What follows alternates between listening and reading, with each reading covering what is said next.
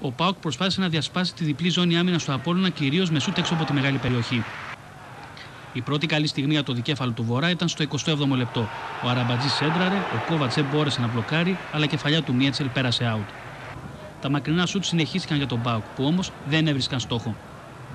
Ο Απόλλων, η μοναδική φορά που απείλησε την αιστεία του Πάουκ ήταν το σουτ φάουλ του Μπούση, το οποίο μπλόκαρε ο Φερναντέζ. Στην εκπνοή του ημιχρόνου όμως ο Μπαλάφας βρήκε τον τρόπο για να ξεκλειδώσει την άμυνα της Καλαμαριάς.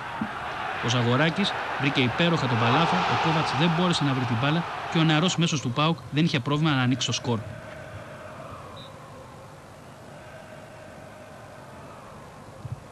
Το δεύτερο ημίχρονο ξεκίνησε με τον Απόλλωνα να ψάχνει την ισοφάριση. Ο Ορφανός όμως δεν κατάφερε να νικήσει με πλασέ επαφή ο Φερναντές που απέκρουσε εντυπωσιακά.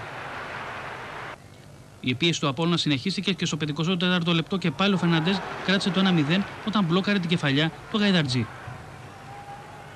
Η απάντηση του Πάουκ ήταν άμεση όταν ο Παντελής Κωνσταντινίδης έφυγε στην αντεπίθεση, πλάσαρε, αλλά ο Κόβατς απέκρουσε την μπάλα. Ο Μπούση που ήταν από τους κορυφαίους των φιλοξενούμενων προσπάθησε να εσωφαρίσει, αλλά και πάλι βρήκε μπροστά του το Φερναντέζ. Τα πράγματα έδειχναν να δυσκολεύουν για τον Απόλυνα στο 27ο λεπτό. Ο Μουράφσκι αντίκρισε τη δεύτερη κίτρινη κάρτα από τον Βασάρα για το μαρκάρισμά του στο Χαραλαμπίδη και πήρε τον πρόωρο δρόμο για τα αποδητήρια.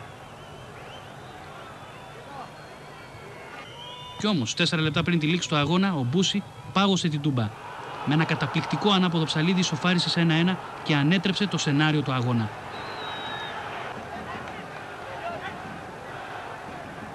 Η λήξη του παιχνιδιού βρήκε τους παίκτες του